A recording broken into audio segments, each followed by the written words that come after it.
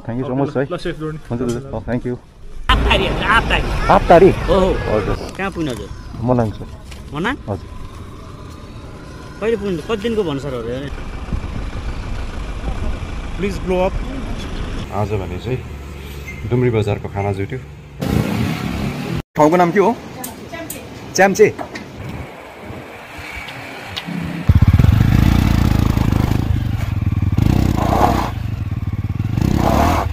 यहाँबाट चाहिँ कतिसम्म मनाङ मनाङ त खोइ त दाइ हामी गएन पनि धेरै लाग्छ होला। लाग्छ नि है कति घन्टा जस्तो लाग्छ मनाङ पुग्नु। होला अझै लाग्छ होला दाइ। धेरै नै लाग्छ होला। दुःख कष्ट झेल्दै है।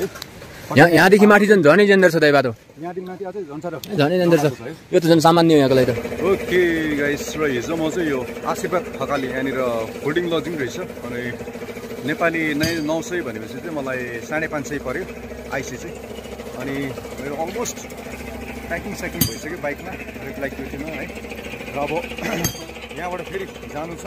मुगलिन भएर चाहिँ आज सायद बेसी बजारतिर जानु छ। यस्तै वान सेभेन्टी वान एट्टी किलोमिटरको राइड रहनेछ आज।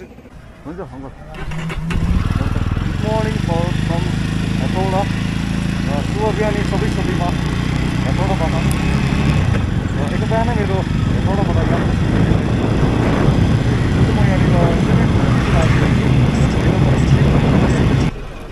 ओके फ्रेन्ड्स र यहाँनिर दाइहरूसँग सोधखोज गर्दा आप्तानी है आपतारी हजुर हवस् धन्यवाद हजुर ओके र आप्तारीमा आइपुगेँ म भर्खरै मात्र भरतपुर क्रस गरेर।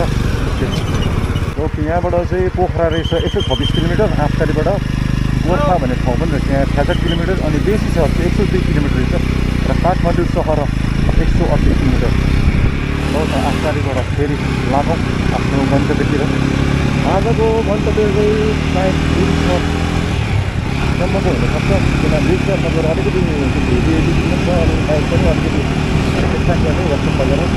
अनि ब्रिज सहरबाट चाहिँ मनाङ जाने जुन चाहिँ जाने सडक अवस्था चाहिँ एकदमै अब खराब छ अस्ति तलै तलो चढेर जानुपर्छ तलै तलो चढाइ चढेर जानुपर्छ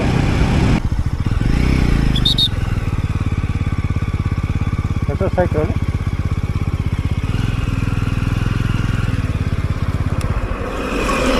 हजुर। सर डकुमेन्ट लाइसेन्स पनि दिनु सर लाइसेन्स हजुर।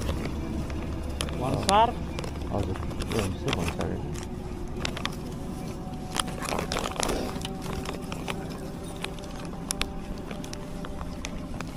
कति बाइक है हजुर सर। नेपाली बोल्नुहुन्छ? म नेपाली नै हो सर। कहाँ घर सर हजुर? म दार्जिलिङबाट सर। दार्जिलिङ? हजुर। कहाँ पुग्नु हजुर?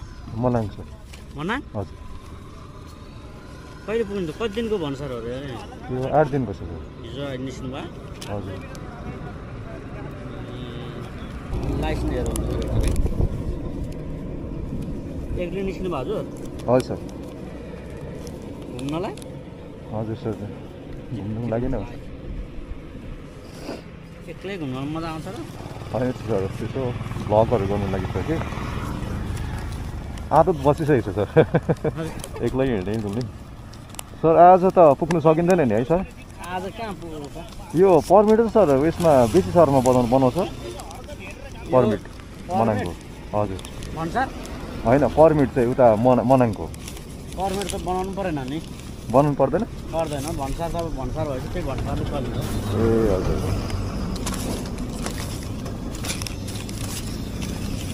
हुन्छ थ्याङ्क यू सर भयो यहाँ सरहरूबाट।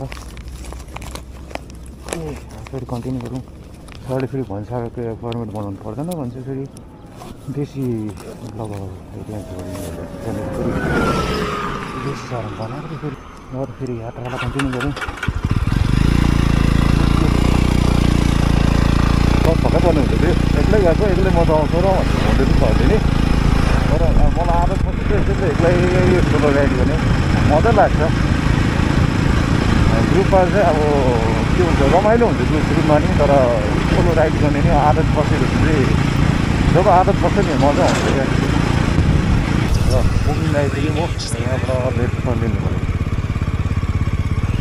खाना चाहिँ खानु मन लागेको थियो खाना उतै खाउँ फ्रेस छ अहिले अलमोस्ट दस बजेर दस मिनट छ म सात बजीतिर हिँडेको र हिँडेको भयो यस्तै दुई अढाई घन्टा भयो दुई अढाई घन्टामा चाहिँ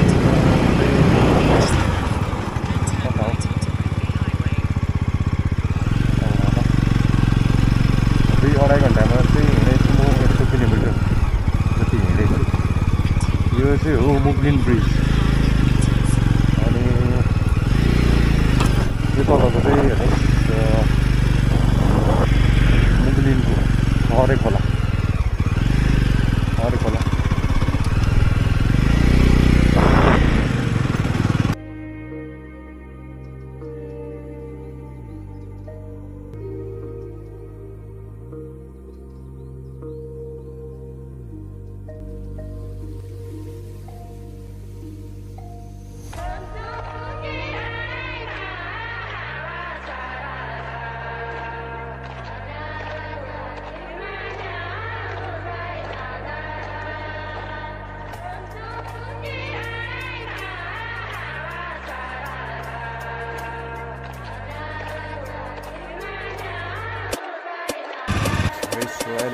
पोखरामा छु म यो तपाईँको बाइकमा धुलो लागेको अनि हेलमेटमा धुलो है? यो ओस्मोमा हेर्नुहोस् धुलोले चाल पाउनुहुन्छ ल। कस्तो सडक भएर चाहिँ आउनु परेछ आज? अँ, बेहालत भइरहेछ हालत बेहालत भइरहेछ। मेरो ब्ल्याक ब्युटीको एक्चुली सर्भिसिङै भनौँ अब पोखरामा किन मनाङ रोड अपिल भएर जानुपर्छ है? र के कस्तो सर्भिस हुन्छ पोखरामा? मेरो बाइक लग्यो भित्र।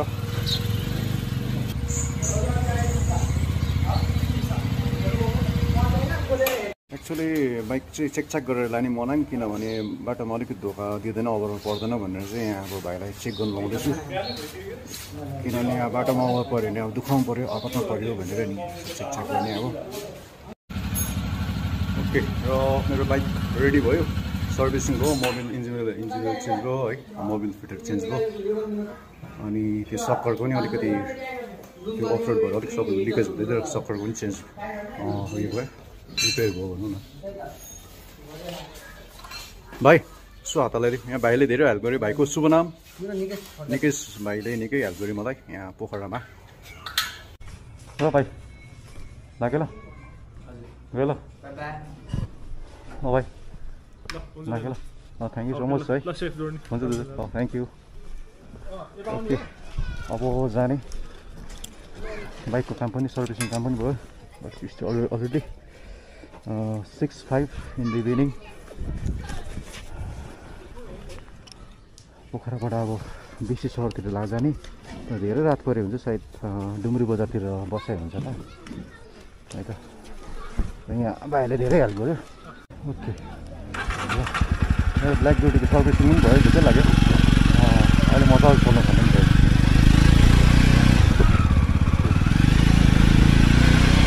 अब चाहिँ दिन ढलेर साँझ सुरु भयो पोखरामै है अर्को कुरो चाहिँ मैले यो एयर प्रेसर पनि चेक गर्नु छ धेरै कम्ती छ अहिले पोखराको नयाँ बजारमा छु म अनि यहाँबाट लेफ्ट टर्न लिनुपर्छ गुगल गुगलले देखाउँछ एक सय सात किलोमिटर देखाउँछ बेसीको बेसी बजारको र तिन घन्टा पचास मिनट देखाउँदैछ त्योभन्दा बढी लाग्छ होला किनभने बाटो एकदमै धुलामै छ सडक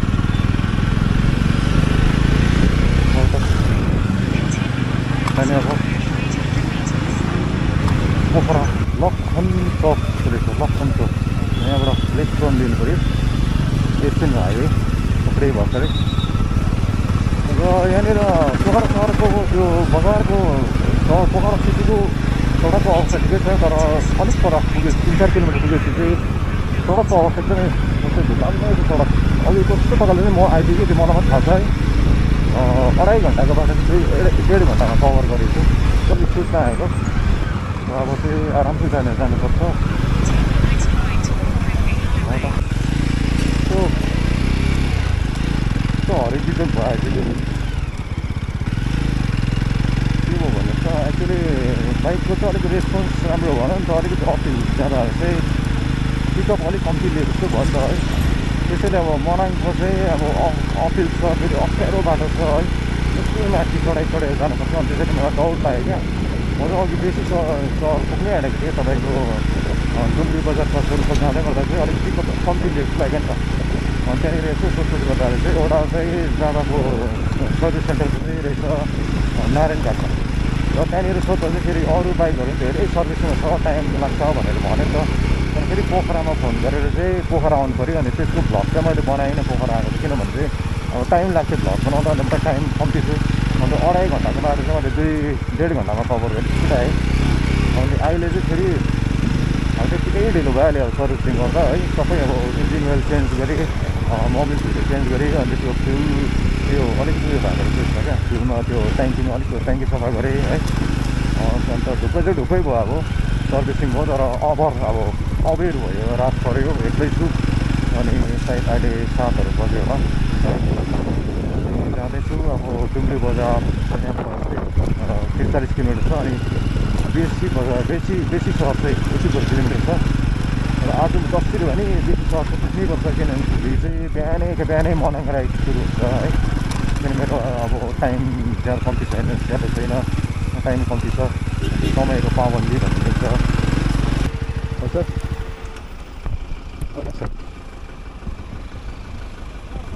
प्लिज ब्लो अप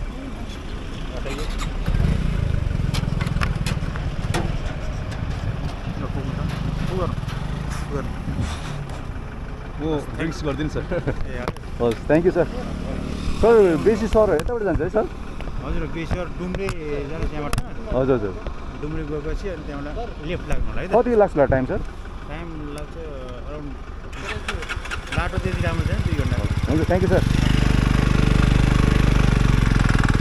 पुलिसको चेकिङ हुँदो रहेछ जति पनि बाइकर्स ड्राइभर्स अर्को गरेर ड्रिङ्क्स गरेर ओके फ्रेन्ड्स र फाइनल्ली डुम्रे बजारको होटा होटल हाम्रोमा चाहिँ बस्ने भए र अ, नौ र बाइकको मेरो ब्ल्याक ब्युटी हेर्नुहोस् डक्टी बाइक रहेछ अझै पुरा पोखरा टु डुम्री बजारको यो बिच सडकमा भएको त्यो धुलोले गर्दा अब त अब रेस्ट गर्ने सामानहरू भित्र राख्ने अनि खानासाना खाने। है त। कति बजी अहिले? साढे नौ। साढे नौ भयो है? ओके र आज भने चाहिँ डुम्री बजारको खाना जुट्यो। ओके फ्रेन्ड्स रुममा आइपुग्यो खानासाना भयो खाना मिठो थियो। खानाको चाहिँ इन्डियनको चाहिँ वान फिफ्टी पऱ्यो है। रुमको चाहिँ मलाई साह्रै पाएन रात राति आइपुग्यो अनि रुमको चाहिँ यदि आठ सय पऱ्यो आइसी चाहिँ इन्डियनको रहेछ ल त आज यो मनाङ राइडको सेकेन्ड डेको सेभेन एपिस एपिसोड है।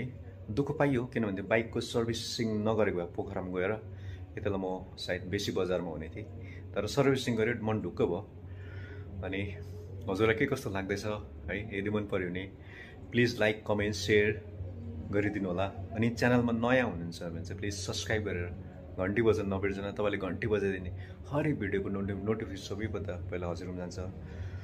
ल त आज निकै टायर्ड फिल भइरहेछ। अनि हजुर दिन ओजल हुँदैछु।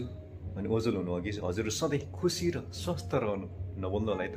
ल त आजलाई यतिमै ओके अहिले बिहानीको बजी सात बज्नु बिस मिनट है र डबल ब्यागहरू जताततै यहाँ छ। चाहिँ बाइक मेरो ब्ल्याक ब्युटी सरी है ब्ल्याक ब्युटी तिमीलाई मैले नुहाइदिनु पाएको छु नि। एकदम हेर्नुहोस् न धुलोले गर्दा हिजो पोखराबाट यो डुमी बजार आउने धुलोले गर्दा। यस्तो डरलाग्दो धुलो लागेको छ। र फटाफट अब त्यो बाइकहरू चाहिँ यहाँ बाइकमा लगाउने र अहिले बिहानीको नौ तिस भएको छ है र म डुम्री बजारबाट forty one kilometre bike ride गरेपछि बेसी सहरमा आइपुग्यौँ। र दुई दाजुहरू जो चाहिँ पहिला इन्डियामा पुलिसमा काम गर्नुभएको थिएछ र उहाँले मलाई पर्मिट बनाउने अफिसतिर लगेर जानुहुँदैछ र उहाँले मलाई धेरै हेल्प गर्नुभयो। र उहाँहरूलाई म आन्तरिक हृदयबाटै धन्यवाद दिन चाहन्छु र पर्मिटको चाहिँ मलाई मनाङको फोर डेजको लागेको थियो वान थाउजन्ड एनसी लागेको थियो। बाइक किन अलिकति डिसब्यालेन्स हुँदै कस्तो कस्तो कुद्दैछ भनेको हेर्नुहोस् न यहाँ जेरिकन तल झरेछ। यसलाई यो डोरी खोलेर फेरि यहाँ माथि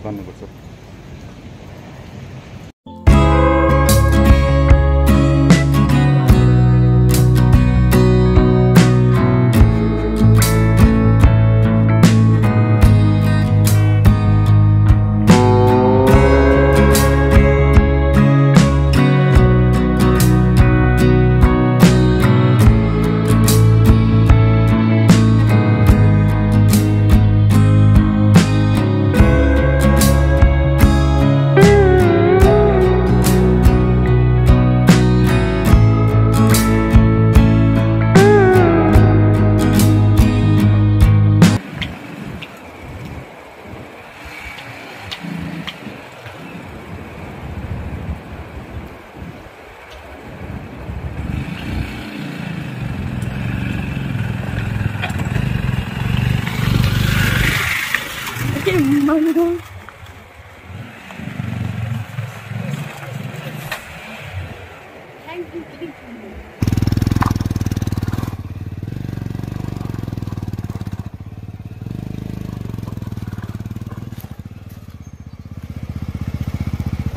हजुर ठिक गरेँ खै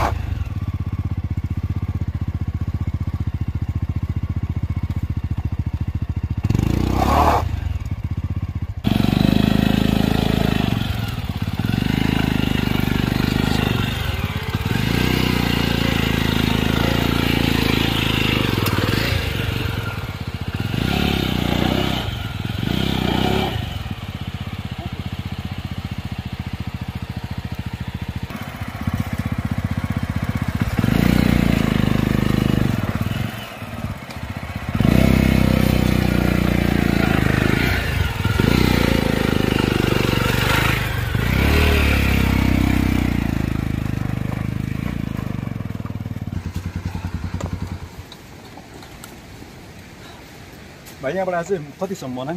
मनाङ त खोइ त दाइ हामी गएन पनि धेरै लाग्छ होला। लाग्छ नि है। कति घन्टा जस्तो लाग्छ है मनाङ पुग्नु।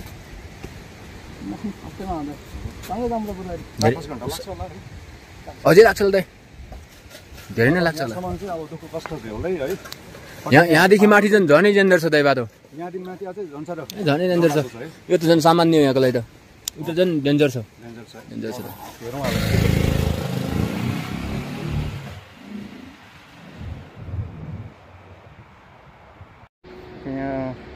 आन्टीलाई सोधखोज गरेँ है र बाइक यहाँ पार्क गरेँ रेडी रोडको कन्डिसन यहाँ पर्दैछ वाटरफल्स यो वाटरफल्सको नाम चाहिँ छ राँदी राँदी वाटरफल्स रहेछ राँदी छाँगो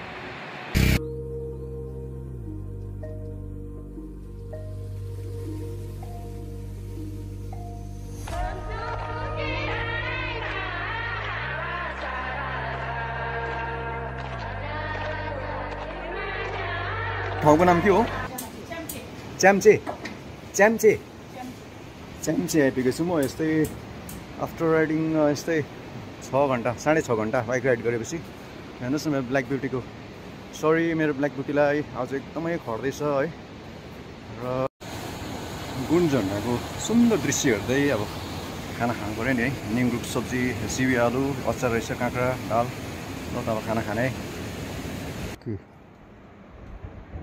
र मनाङ जिल्लामा चाहिँ मैले पाइलाटेकै एउटा यात्रीको परिवारले है साथीहरू यो तल देख्दै गरेको छ ताल।